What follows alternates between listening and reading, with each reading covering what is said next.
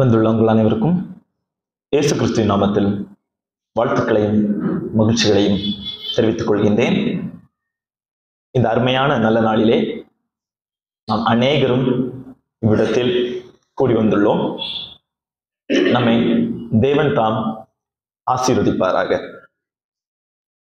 இந்நாளிலே செய்திக்காக நான் எடுத்துக்கொள்ளப்பட்ட தலைப்பு விசுவாசம்.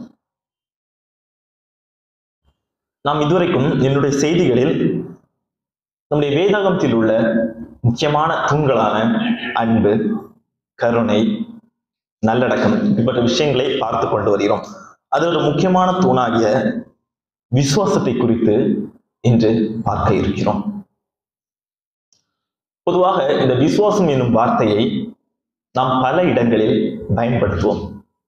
ஜபங்களிலும் சரி சில நேரங்களில் தேவனிடத்தில் ஜெபத்தின் வாயிலாக நான் பேசும் பொழுது உண்மை நான் விசுவாசிக்கிறேன். விசுவாசம் இப்படிப்பட்ட வார்த்தையை பல இடங்களில் நாம் பயன்படுத்துகிறோம். அந்த விசுவாசம் என்றால் என்ன? எத்தனை பேர் யோசிச்சிருக்கோம்? விசுவாசம் என்றால் என்ன? விசுவாசத்தை குறித்து நாம் ஒவ்வொருவரும் ஒரு காரியத்தை வைத்திருப்போம். இதுதான் விசுவாசம். நாம் வைத்துள்ள விசுவாசம் இப்படி இருக்கிறது. அப்படி ஒவ்வொருவரும் நமக்கென்று ஒரு காரியத்தை வைத்திருப்போம்.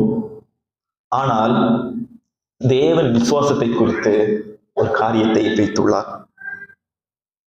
விசுவாசம் என்கிறது என்பதை நாம் எப்படி நினைக்கிறோம் என்பது முக்கியமல்ல.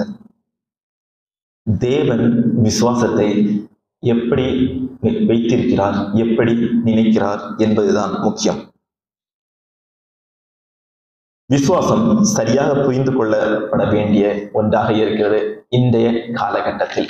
ஏனென்றால் விசுவாசம் என்பது எப்படிப்பட்டது என்பது என்பதை அறியாது பலரும் விசுவாசிக்கிறேன் விசுவாசம் வைத்திருக்கிறேன் என்ற வார்த்தையை பயன்படுத்தி வருகிறார்கள். விசுவாசத்தை குறித்தான ஒரு புரிதல் இன்றைய காலகட்டத்தில் கட்டாயம் இருக்க வேண்டும். ஏற்கனவே சொன்னேன் அல்லவா தேவன் விசுவாசத்தை குறித்தான ஒரு காரியத்தை எப்படி வைத்துள்ளாரோ அதன்படிதான் இருக்க வேண்டும். உதாரணத்துக்கு ஒரு இன்ஜினியர் கிட்ட நம்ம வீடை நம்ம கெட்ட கொடுக்கிறோம்னா அந்த இன்ஜினியர் அவர் இஷ்டத்துக்கு அந்த வீடை கட்ட முடியாது. அந்த உரிமையாளருடைய தேவைக்கு ஏற்ப அவர் எப்படி கூறுறாரோ அதன்படிதான் அந்த வீட்டை கெட்டி கொடுக்கணும். அந்த இன்ஜினியருக்கு ஈஸியா இருக்குன்னு சொல்லிட்டு கீழே ஒரு ஹால் மேல ஒரு ஹால்னு ஒரேடியா ஒரு ஹாலையே வீடாக்கிட்டா அதுல பயன் இருக்குமான்னு கேட்டா பயன் இருக்காது. அந்த உரிமையாளருக்கு அது எப்படி தேவைப்படுதோ அந்த உரிமையாளருடைய தேவையை புரிந்து அதன்படியாகத்தான் அவர் கட்டி கொடுக்க வேண்டும்.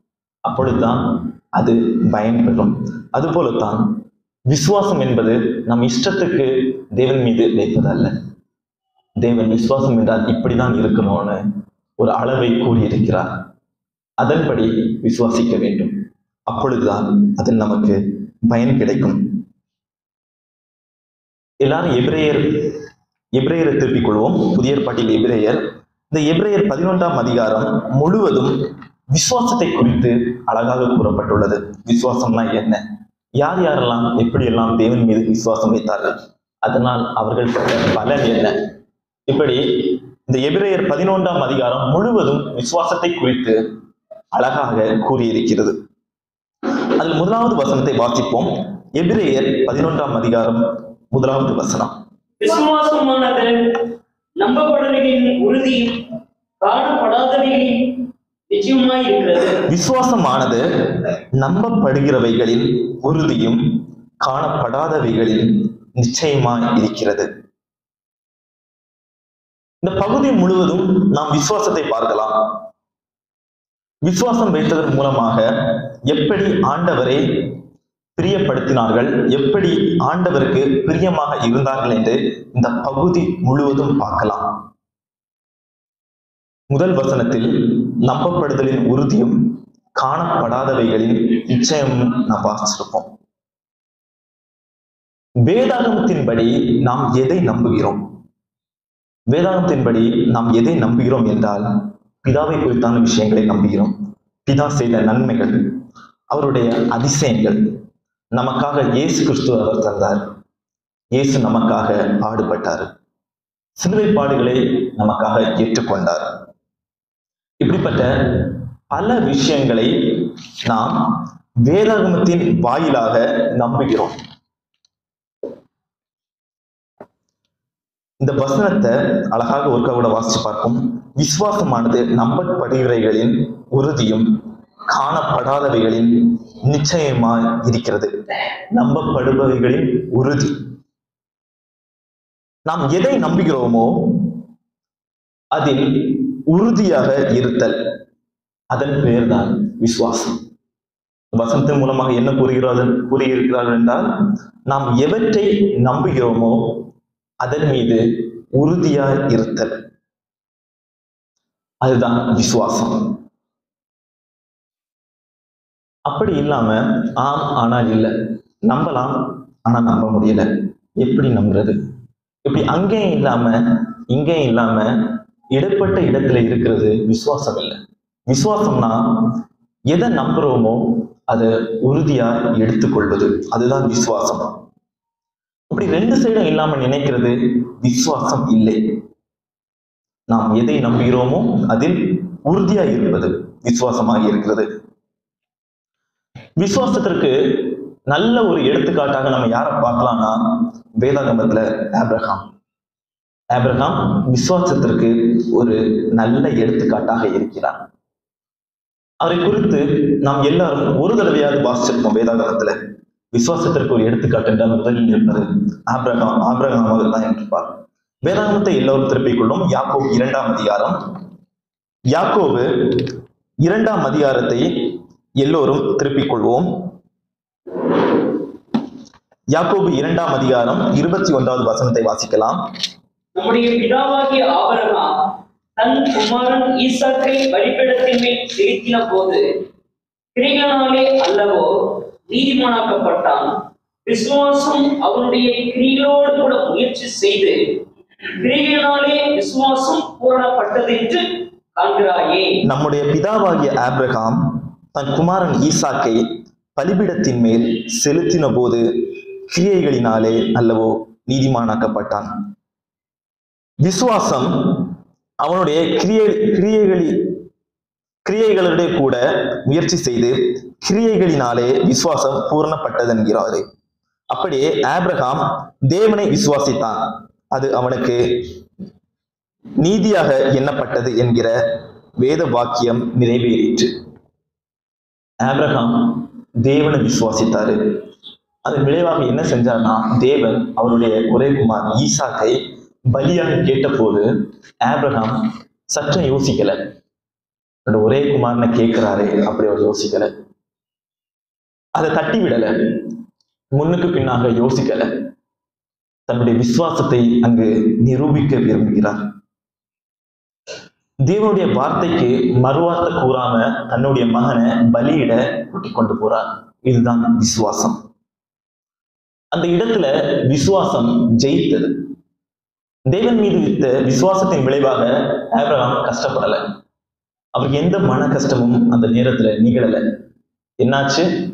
தேவன் ஆபிரகாம ஆபிரகாமுடைய ஒரே குமாரனாகிய ஈசாக்க கொல்ல விடலை காப்பாத்திட்டார். ஏனென்றால் அங்கு ஆபிரகாம் வைத்திருந்த விசுவாசம் ஜெயித்தது. அந்த ஆபிரகாம் வைத்திருந்த விசுவாசத்தின் விளைவாக வேத பகுதியில அழகாக கூறியிருக்கிறது. அவன் தேவனுடைய சிநேகிதன் எண்ணப்பட்டான் இருபத்தி மூன்றாவது வசனத்தை வாசிப்போம்.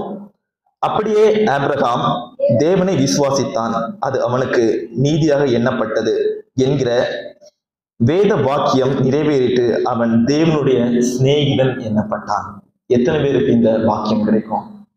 அவன் வைத்திருந்த விசுவாசம் அந்த இடத்துல ஜெயித்தது. அந்த விசுவாசத்தின் விளைவாக ஆப்ரஹாம் தேவனுடைய சிநேகிதன் எண்ணப்பட்டான் எப்பேற்பட்டவன் நம் தேவன்? அவனுடைய சிநேகிதன் எண்ணப்பட்டார் அவ்விடத்தில் ஆப்ரஹாம் விசுவாசம் மிகவும் பெரியதான ஒன்று. அதை யார் யார் மீது வைக்கப்பட்டிருக்கிறார்கள் என்பது முக்கியம். எப்படிப்பட்ட விசுவாசத்தை நாம் வைத்திருக்கிறோம் என்பது மிக முக்கியம். நம் எண்ணத்துக்கு அல்ல நம் விருப்பத்திற்கு ஏற்றவாறு அல்ல தேவனுடைய விருப்பத்திற்கு ஏற்றவாறு. அவருடைய எண்ணம் முழுமையடையும் வகையில் நம் விசுவாசத்தை அவர் மீது வைக்க வேண்டும். விசுவாசம் வைத்தால் மட்டுமல்ல அது தேவனுடைய விருப்பத்தின்படி இருக்க வேண்டும். ஏன் இப்படி சொல்றேன்னா யாக்கோபு இரண்டாம் அதிகாரம் பத்தொன்பதாவது வருஷத்தை வாசிக்கலாம். யாக்கோபு இரண்டு பத்தொன்பது விசுவாசிக்கிறாய். அப்படி செய்கிறது நல்லதுதான். விசுவாசங்களும் விசுவாசித்து நடுங்குகின்றன. தேவன் ஒருவர் உண்டென்று விசுவாசிக்கிறாய். அப்படி செய்கிறது நல்லதுதான். பிசாசுகளும் விசுவாசித்து நடுங்குகிறது அல்லவா? பிசாசுகளும் விசுவாசிக்கிறதா? இதற்காக தான் சொல்றேன் விசுவாசம் என்பது சாதாரண ஒன்றல்ல. அதை சாதாரணமாக வைக்கப்படா வைக்கக்கூடாது. அதற்கென்று தேவன் ஒரு வழி வைத்துள்ளார். அதன்படி வைக்க வேண்டும். ஏனென்றால் பிசாசுகளும் விசுவாசிக்கிறான் தேவனை. நம்ம சாதாரணமா வச்ச அந்த பிசாசுகளுக்கும் நமக்கும் இடையில என்ன வித்தியாசம் இருக்க போகுது? நம் தேவன் மீது வைத்துள்ள விசுவாசம் தனித்துவமாக இருக்க வேண்டும். அது தேவனுடைய விருப்பத்தின்படி இருக்க வேண்டும். வெறுமனதால் நாம் விசுவாசத்தை வைத்தால் அது அந்த பிசாசுகள் வைத்துள்ள விசுவாசத்திற்கு ஏதுவான ஒன்றாக மாறிவிடும். யாக்கோபு இரண்டாம் அதிகாரம் ஒன்றாம் வசனத்தை வாசிப்போம். யாக்கோபு அதிகாரம் ஒன்றாவது வசனம். என் சகோதரரே மகிமுள்ள நம்முடைய கர்த்தராகிய இயேசு கிறிஸ்து மேலுள்ள விசுவாசத்தை பட்சபா பட்சபாதத்தோடு பற்றி கொள்ளாதிருக்கிறீர்களாக. என் சகோதரரே மகிமையுள்ள நம்முடைய கர்த்தராகிய இயேசு கிறிஸ்து இயேசு கிறிஸ்துவின் மேலுள்ள விசுவாசத்தை பச்சைப்பாதத்தோடே பற்றி கொள்ளாதிருப்பீர்களாக தேவன் மீது வைத்துள்ள விசுவாசத்தை பட்சபாரத்தோடே பற்றி கொள்ளாதிருப்பீர்களாக என்று இந்த வேதாகமத்தில் கூறியுள்ளது. ஏனென்றால் இன்றைய நாளடைவில் விசுவாசம் என்பது சாதாரண ஒன்றாக மாறிவிட்டது. எனவே தான் வேதாகமத்தில் இந்த ஒவ்வொரு வசனத்திலும் விசுவாசத்தை குறித்து அழகாக கூறியுள்ளது. அடுத்த வசனத்தையும் கூட வாசிப்போம். ஏனெனில் பொன் மோதிரமும் மினுக்குள்ள வஸ்திரமும் தரித்திருக்கிற ஒரு மனுஷன் கந்தையான வஸ்திரம் தரித்திருக்கிற ஒரு தரித்திரனும் உங்கள் ஆலயத்தில் வரும் பொழுது மினுக்குள்ள வஸ்திரத்தின் வஸ்திரத்தை தரித்தவனை கண்ண கண்ணோக்கி நீர் இந்த நல்ல இடத்தில் உட்காரும் என்றும் தரித்திரனை பார்த்து நீ அங்கே நில்லு. அல்லது இங்கே என் பாதப்படியத்தை பாய பாத உட்காரு என்று நீங்கள் சொன்னால் உங்களுக்குள்ளே பேதகம் பண்ணி தகாத சிந்தனைகளோடு நிதானிக்கிறவர்களால் நிதானிக்கிறவர்களால் இருப்பீர்கள் அல்லவா? விசுவாசத்தை குறிப்பிட்டு அது கூட எதை கூறியிருக்கிறார்கள் என்றால் வேறுபாடு இருக்கக்கூடாதுன்னு கூறியிருக்கிற இந்த வசனத்துல. நீ விசுவாசத்தோட உன் தேவனை பார்க்கும் பொழுது யாருக்கு இடையிலும் வேறுபாடு பார்க்க மாட்டாய்? அநேகரும் ஒருவராய் இருக்கிறோம். அதனால இந்த வசனத்தினால கூறியிருக்கு ஆலயத்திற்கு ஒருவன் வரும் பொழுது அவனுடைய நகையை பார்த்தோ அல்லது அவனிடம் இருக்கும் பொருளை பார்த்தோ வேறுபாடு பார்க்காதே. அநேகரையும் சமமாக பார்க்க வேண்டும் என்பதுதான் இந்த வசனத்தின் அர்த்தமாக இருக்கிறது. நீ விசுவாசத்தோடு இருந்தாயானால் உன் பார்வைக்கு தேவன் மட்டும்தான் தெரிவார். பொன்னும் பொருளும் வசதியானவனும் தாழ்த்தப்பட்டவன் என்ற வேறுபாடு எதுவுமே நம் கண்ணுக்கு தெரியாது. நம் தெ- நமக்கு தெரிவது தேவன் மட்டும்தான். உண்மையான விசுவாசம் அவரோடு கூட இருக்கும். அந்த இடத்தில் எப்பொழுதும் யாரையும் தாழ்த்தி பார்க்க மாட்டோம். அப்படிப்பட்ட விசுவாசம் அநேகருக்கும் நம் தேவன் மீது இருக்க வேண்டும். விசுவாசம் மற்றவன் வார்த்தையின் வாயிலாக விசுவாசம் என்று கூறிவிட்டு நடத்தையின் வாயிலாக தவறு செய்கிறான். இந்த பாரபட்சம் உயர்த்தாழ்வு இப்படிப்பட்ட விஷயங்கள் அவனிடத்தில் தான் நம்மால் பார்க்க முடியும். உண்மையான விசுவாசம் இருப்பவனிடம் இருப்பவனும் அனைவரையும் சமமாக பார்ப்பான். விசுவாசம் மிகவும் உயர்ந்த இடத்தில் இருக்கும் ஒரு பொருள். அதை அடைய வேண்டும் என்றால் தேவனை நோக்கி நாம் சரியாக இருக்க வேண்டும். விசுவாசம் இப்படித்தான் பொதுவானவைகளை கூறுகிறது. மேலும் எப்ரேயர் பதினொன்றாம் அதிகாரம் ஆறாவது வசனத்தை வாசிப்போம். எப்ரேயர் பதினொன்று ஆறாவது வசனம். தேவனுக்கு பிரியமாய் இருப்பது கூடாத காரியம். ஏனென்றால் தேவனிடத்தில் சேருகிறவன் அவர் உண்டென்றும் அவர் தம்மை தேடுகிறவர்களுக்கு பலன் அளிக்கிறவர் என்றும் விசுவாசிக்க வேண்டும். விசுவாசம் இல்லாமல் தேவனிடத்தில் சேர முடியுமா? எனக்கு விசுவாசம் கம்மியா இருக்கு. இருந்தாலும் நான் என் தேவனோட சேர்ந்துருவேன். என் தேவன் என்னை பார்த்து கொண்டிருக்கிறார். அவர் என்னை காப்பாற்ற அப்படி சொல்ல முடியுமா? விசுவாசம் இல்லாமல் தேவனிடத்தில் சேர முடியுமா என்றால் இந்த வசனம் அழகாக கூறியிருக்கிறது. விசுவாசம் இல்லாமல் தேவனுக்கு பிரியமாய் இருப்பது கூடாத காரியம். ஏனென்றால் தேவனிடத்தில் சேருகிறவன் அவர் உண்டென்றும் அவர் தம்மை தேடுகிறவர்களுக்கு பலன் அளிக்கிறார் என்றும் விசுவாசிக்க வேண்டும். தேவன் இருக்காருன்னு முதல்ல விசுவாசிக்கணும். அவர் நமக்கு தேவைப்படுகிற விஷயங்களை தேவையான வேலையில செய்வார். அவர் நமக்கு பலன் தருவார் என்று முழு மனதோடு விசுவாசிக்க வேண்டும். அறகுறையா விசுவாசிச்சுட்டு என் தேவன் என்ன கடைசி காலத்துல கை கொடுத்து எழுப்பிடுவார். அவர் என்ன பரலோக ராஜ்யத்திற்கு கொண்டு போயிடுவார். இப்படி நினைச்சா நடக்குது. இந்த இடத்துல விசுவாசம் முதன்மையாக இருக்கும். எனவே நான் விசுவாசத்தை குறித்து மேலும் மேலும் கூறிக்கொண்டிருக்கிறேன். விசுவாசம் என்பது முக்கியமான ஒன்றாக இருக்கிறது. இறுதி நாட்கள் வரும் பொழுது தேவன் கேட்பார் நீ என் மீது எவ்வளவு விசுவாசமாக இருந்தாய்? என்று. அன்னைக்கு தேவன் கூறியதன்படியே அநேக காரியங்களும் நடக்கும். அப்பொழுது அறகுறையா விசுவாசம் வச்சிருந்தேன். இல்லை எனக்கு விசுவாசம் இல்லை. நான் விசுவாசத்துக்குன்னு நான் ஒரு அடிப்படை விஷயங்களை வச்சிருந்தேன். அதன்படி நான் விசுவாசத்தை வெளிக்காட்டி கொண்டிருந்தேன். உம்முடைய வார்த்தையின்படி அல்ல என்று கூற முடியாது. தேவன் விசுவாசத்திற்குன்னு ஒரு பிளான் வச்சிருக்கிறது அதன்படிதான் நாம் இருக்க வேண்டும். விசுவாசம் இல்லாமல் தேவனுக்கு பிரியமா இருப்பது கூடாத காரியம்.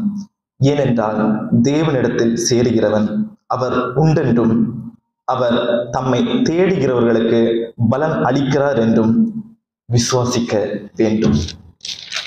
அப்படி இல்லாம மேலோட்டமா நினைச்சுக்கிட்டு இருந்தோம்னா எந்த ஒரு காரியமுமே நடக்காது. விசுவாசத்தை குறித்த அந்த பதினோராம் அதிகாரத்துல சிலர் கூறி அதுல ஒருத்தரை பார்ப்போம். பதினொன்றாம் அதிகாரம் நான்காவது வசனம். எப்ரேல் பதினொன்று நான்காம் வசனம். தேவனுக்கு செலுத்தினார்.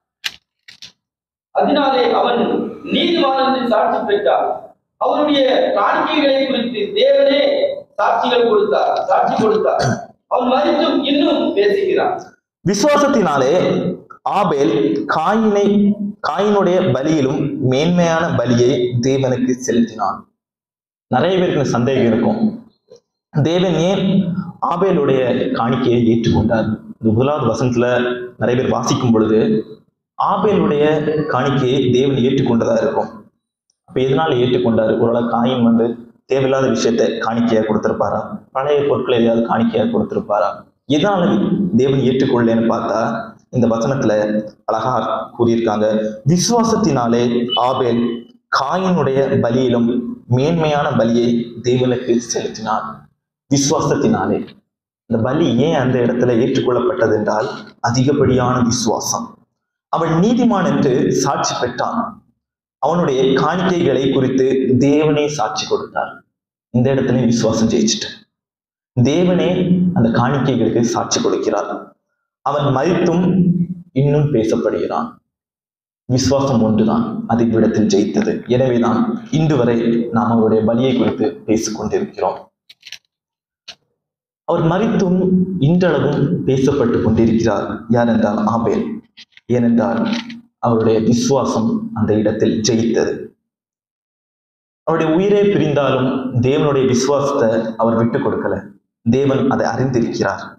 அவர் மறித்தும் பேசப்பட்டு கொண்டே இருக்கிறார். இப்படித்தான் விசுவாசம் நம் உயிர் இந்த உடலை விட்டு பிரிந்தாலும் அந்த விசுவாசத்தின் படியாக நாம் மீண்டும் மீண்டும் பேசப்படுவோம்.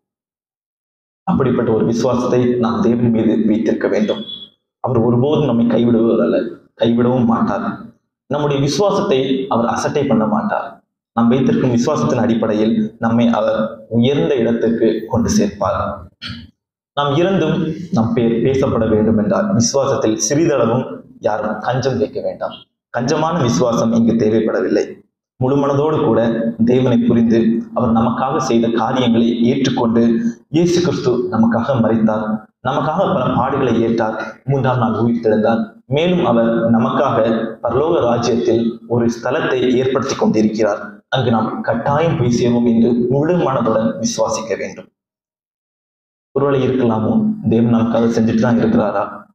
இல்ல யாராவது சொன்ன ஒரு கதையா இருக்குமா இது? இப்படி அறகுறை எண்ணத்தோட விசுவாசிச்சோம்னா என்னைக்குமே தேவன்கிட்டருந்து நம்ம எதிர்பார்க்கிற விஷயங்கள் நம்மை வந்தடையாது.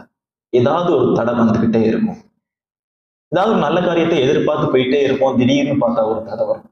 நினைக்கிற விஷயம் நடக்காம போயிடும் சபைக்கு வரணும்னு நினைச்சிட்டே இருப்போம். காலையில ஆனா ஒரு தடங்கள். சரி அதையும் தாண்டி வரலான்னு பார்த்தா வர்ற வழியில அடுத்துட்டாங்க தடை மேல தடையா வந்துகிட்டே இருக்கும். ஏனென்றால் முழுமையான விசுவாசம் அங்கு இல்லைன்னு அர்த்தம். முழுமையான விசுவாசம் இருக்கும் பொழுது நாம் மேலும் மேலும் உயர்த்தப்படுவோம். தேவன் நம்மை உயர்த்திதான் விரும்புகிறாரே தவிர எந்த ஒரு இடத்திலும் அவரை நம்பி நம்பி இருக்கிறவர்களை அவர் தாழ்த்த விரும்புவர்கள் விரும்புகிறவர் அல்ல. எந்த ஒரு தகப்பனும் தன் பிள்ளைகளை உயர்வான இடத்திற்கு கொண்டு சேர்க்க வேண்டும் என்றுதான் நினைப்பாரே தவிர தன் பிள்ளை கஷ்டப்பட்டு கொண்டிருக்க வேண்டும் கீழேயே இருக்க வேண்டும் அப்படி எந்த ஒரு தகப்பனும் நினைக்கிறதல்ல. நம் பிதாவும் அப்படிப்பட்டவர் தான் இருபத்தி நாலு முப்பது வருஷமா நம்மை வளர்த்த நம் தகப்பனை இப்படி யோசிக்கும் பொழுது ஆதிகாலம் முதல் நம்மை பார்த்து கொண்டு நம்மை வழிநடத்தி பாதுகாக்கிற தேவன் நம் மீது எப்பேற்பட்ட கருணையை வைத்திருப்பார். அப்படிப்பட்ட தேவன் மீது அப்படிப்பட்ட பிதாவின் மீது நம் தந்தையின் மீது நாம் எப்பேற்பட்ட விசுவாசத்தை வைத்திருக்க வேண்டும்? நம்ம அவர் கண்மூடித்தனமா நம்பணும் இல்லையா?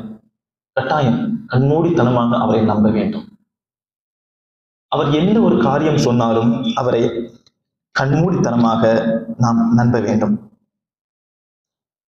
ஆப்ரஹாம் அப்படித்தான் நம் தேவன் மீது நம்பிக்கை வைத்திருந்தார். நம் தேவன் மீது விசுவாசம் வைத்திருந்தார். தன் மகனை தன் மகனை தனி பிதாவிற்கு பலியாக கொடுக்க வேண்டும் என்று கேட்ட பொழுதும் ஆபிரகாம் சற்றும் மனம் தளராமல் அதை ஏற்றுக்கொண்டார். அந்த வார்த்தையை ஏற்றுக்கொண்டார். அப்படிப்பட்ட ஒரு கண்மூடித்தனமான விசுவாசம் தான் நாம் நம் தேவன் மீது வைத்திருக்க வேண்டும். அப்படி ஒரு விசுவாசம் வச்சு பார்ப்போம். அநேக காரியம் கைகூடும். எதெல்லாம் நம் வாழ்க்கையில் நடக்காது நம்ம நினைச்சிட்டு இருந்தோமோ அப்படிப்பட்ட விஷயம் எல்லாம் நம் கைகூடும் அந்த விசுவாசத்தின் அடிப்படையாக. நினைக்கிற காரியங்கள் இன்னும் நட- நடைபெறாம இருக்குதா? குறிச்சு கொள்ளுங்க. ஏதோ ஒரு இடத்துல நம்ம விசுவாசத்துல ஒரு சின்ன குறை இருக்கலாம். நம்ம விசுவாசத்துல ஏதோ ஒரு இடத்துல ஒரு சின்ன குறை இருக்கலாம். ஆபிரகாம என்னைக்குமே மனசுல வச்சிருக்கோம். விசுவாசத்திற்கு உகந்த ஒரு முதன்மையான மனிதராக அவர் இருக்கிறார். அப்பேற்பட்ட விசுவாசத்தை நம் தேவன் மீது வைப்போம். உயிரை கேட்டாலும் கொடுக்கத்தான் வேண்டும். ஏனென்றால் அது தேவன் அளித்தது. இந்த உலகத்தின் அநேக விஷயங்களும் தேவன் நமக்காக அளித்தது. அப்பேற்பட்ட அற்ப காரியங்களுக்காக நம் விசுவாசத்தை குறைத்து எண்ண வேண்டாம். என்றோ ஒரு நாள் அழியும் இந்த பூமியில் என்றோ ஒரு நாள் அழியும் இந்த உயிரை தாங்கிக் கொண்டு போகும் இந்த உடலுக்காக தேவன் மீது வைத்துள்ள விசுவாசத்தை நாம் என்றும் விட்டுவிட வேண்டாம். விசுவாசம் உயிரினும் உயிரினும் பெரிதாக இருக்க வேண்டும். விசுவாசம் அநேக காரியங்களிலும் பெரிதாக இருக்க வேண்டும். அப்படிப்பட்ட விசுவாசத்தை வைக்கும் பொழுது அநேக காரியங்களிலிருந்து தேவன் நம்மையும் நம்முடைய வாழ்க்கையையும் காப்பாற்றி வருவார். தேவன் நமக்காக கூறியுள்ள மார்க்கத்தின் வழியாக விசுவாசத்தை கொண்டு செல்லும் பொழுது அவர் நமக்காக வைத்துள்ள அந்த பரலோக ராஜ்யத்தை கட்டாயம் நாம் சென்று காண முடியும். எனவே தேவன் மீது நம்பிக்கையாக இருப்போம். தேவன் மீது முழு மனதோடு விசுவாசத்தோடு கூட இருப்போம். கூறப்பட்ட வார்த்தைகள் அனைத்தையும் தேவன் தாமே ஆசீர்வதித்து தருவாராக.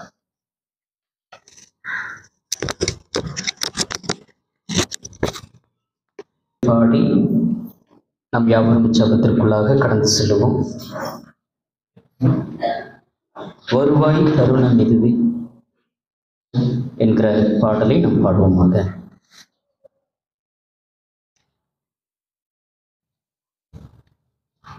Thank you.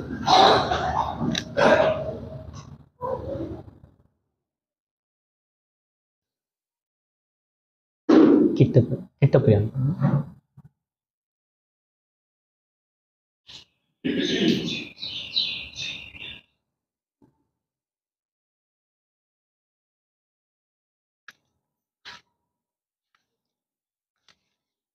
வருவாய் தருணமிதுவே அழைக்கிறாரே வல்ல ஆண்டவரிசு வந்தை வல்ல ஆண்டவரிசு வந்தை வருவார் தருணமிதுவே அழைக்கிறாரே வல்ல ஆண்டவரே. சுவந்தை வல்ல ஆண்டவரே சுவந்தை வாழ்நாளை எல்லாம் வீணாடா. வருத்தத்தோடு கழிப்பது ஏ வாழ்நாளை எல்லாம் வீணாடா வருத்தத்தோடு கழிப்பது வந்தவர் பாதம் சரணடைந்தான் வாழ்வித்து உன்னை சேர்த்து கொள்வார் வருவார். தருணம் இதுவே அழைக்கிறானே. வல்ல ஆ சுவண்டை வல்ல ஆண்டவரிசுவண்டை கட்டின வீடும் இடம் பொருளோ கண்டிடம் உறவினரும்.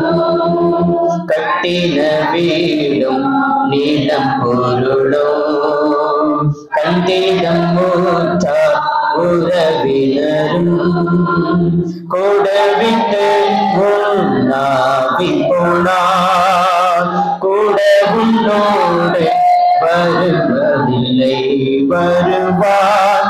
தருணம் இதுவே அழைக்கிறானே வல்ல ஆண்டவர் இயேசு வண்டை வல்ல ஆண்டவர் இயேசு வண்டை அழகும் மாயை நிலைத்திடாதே.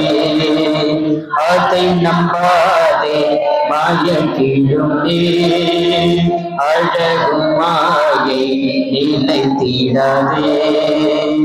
அதை நம்பாதே மாய கிடுமே மரணம் போனால் சந்திக்குமே மறவாதே நாண்டவரை வருவார் அழைக்கிறானே வந்த ஆண்டவரி சுமந்தை வல்ல ஆண்டவரி சுவண்டை வருவார். தருணம் இதுவே அழைக்கிறானே வல்ல ஆண்டவரி சுவண்டை வல்ல ஆண்டவரி சுவண்டை நம் யாரும் நம்முடைய